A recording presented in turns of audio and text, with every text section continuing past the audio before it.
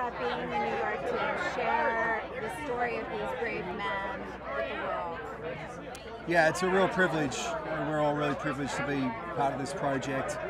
I think we all knew when we signed on that uh, it's not your normal film, it's not your normal experience, and uh, we're all just really lucky to be involved. Describe, the, you know, the focus and dedication these men had to each other. Well, it's you know it's on such an unrelatable level. The thing I love reading about these guys is it just makes you realise how weak we all are in comparison. You know, it's a real reminder of mortality and and what human beings are capable of.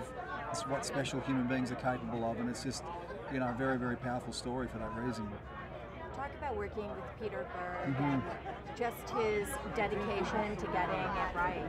Well, it gave us a lot of confidence. I mean, I, I really felt great because I've known Peter a long time and I knew this was something that he'd been working on for a long time and I knew that his relationship with Marcus was, was such that the attention to detail, that we, had a safety net in both Pete and the Special Forces community who was working with us on the film.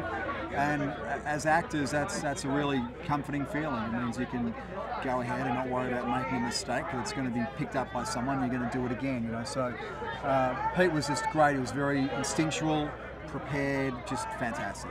Thank you so much. No worries. Thank you.